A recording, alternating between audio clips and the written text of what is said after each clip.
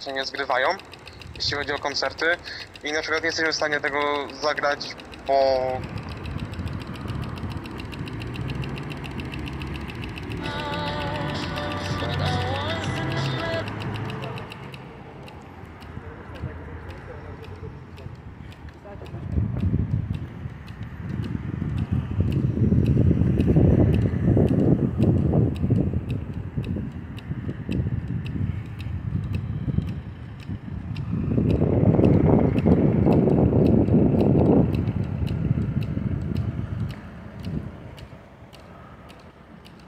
Internet był wyłączony, są zbombardowane linie telefoniczne.